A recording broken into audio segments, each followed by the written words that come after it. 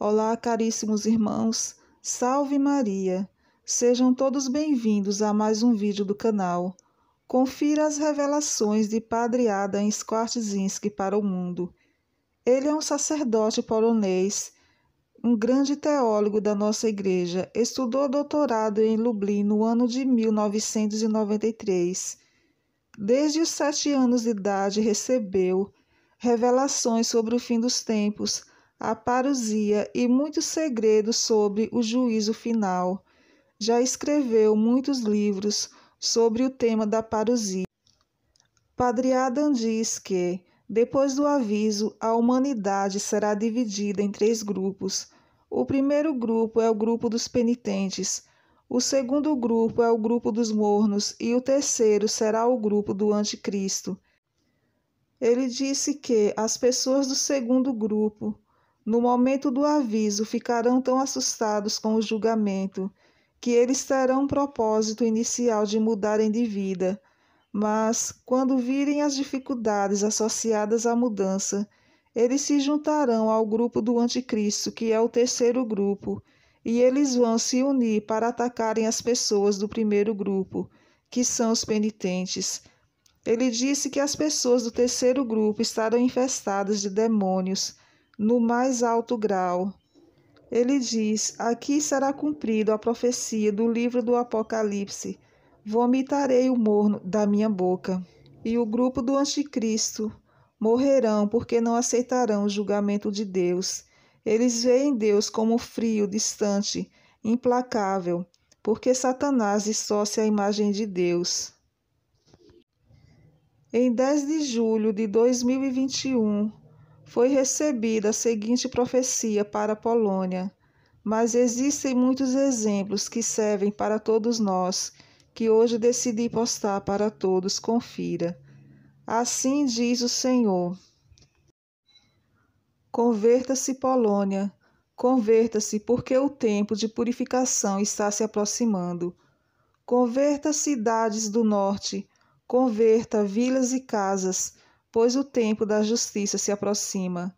Converta cidades portuárias, cidades costeiras e que surgiram na foz dos rios, pois sua existência está chegando ao fim.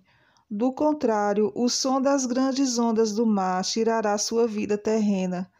Converta cidades do sul, converta vilas e famílias, pois o dia da verdade e do julgamento está se aproximando de você. Se você não fizer isso quando a terra tremer, você perecerá da terra e da água, pois a primeira desaparecerá sob seus pés, e a segunda fluirá para os lugares onde a primeira desabou.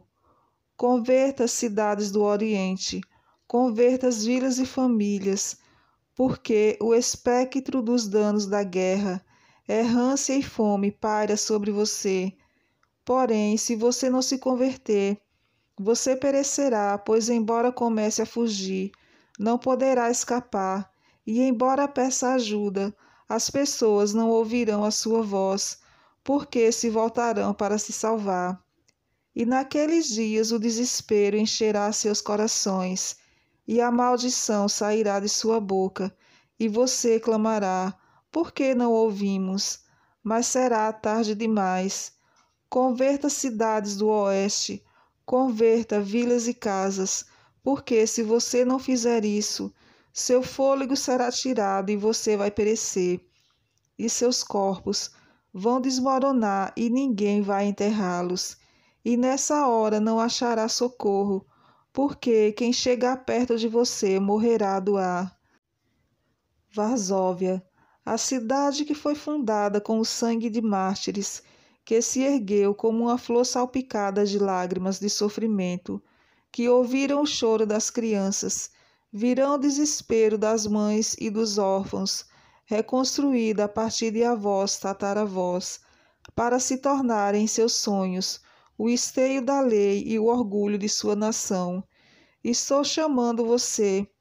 Afaste-se da injustiça, converta-se, arrependa-se Pois se você não fizer isso, suas paredes serão destruídas e nunca serão reconstruídas.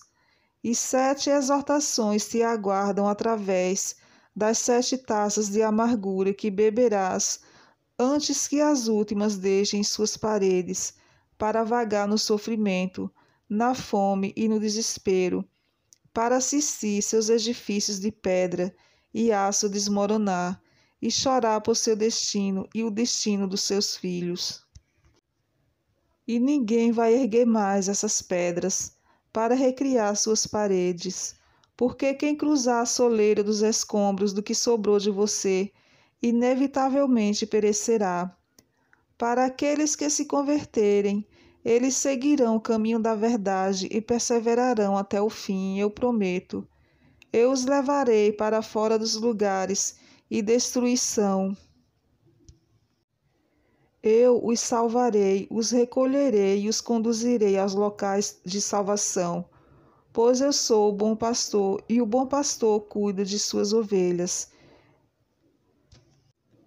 Eu sou o bom pastor e o bom pastor chama suas ovelhas pelo nome, antes de conduzi-las.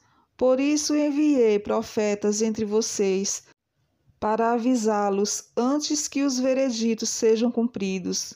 Pois eu sou o bom pastor e reconheço as minhas ovelhas, e elas me conhecem eles também conhecerão aqueles a quem enviei, pois eles falarão por mim, e essa palavra comoverá o coração dos escolhidos, pois eles reconhecerão essa palavra e ela se cumprirá.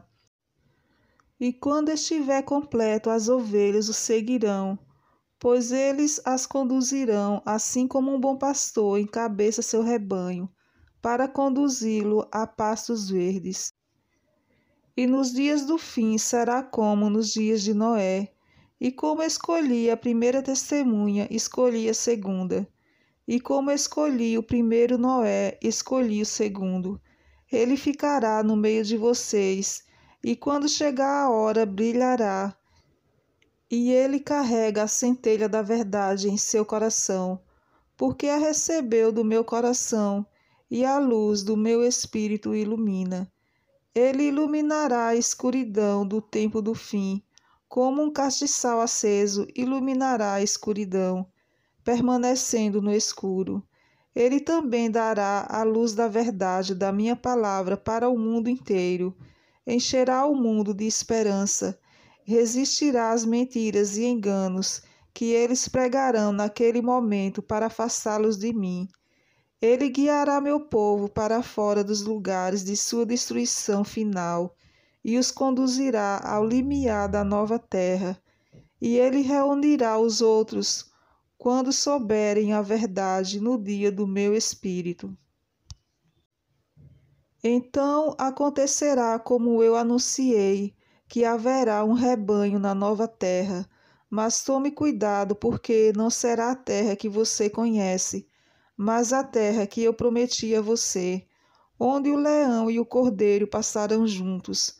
Ouvi então alguns servos justos, bons e fiel. O tempo da alegria se aproxima.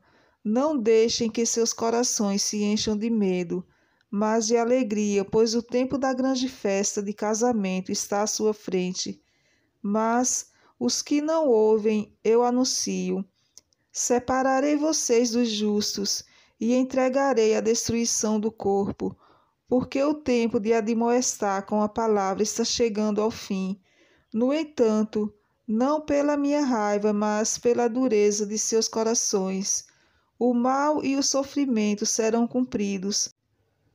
Você vai sofrer não por falta de minha misericórdia, mas por sua falta de obediência, orgulho e pé no chão.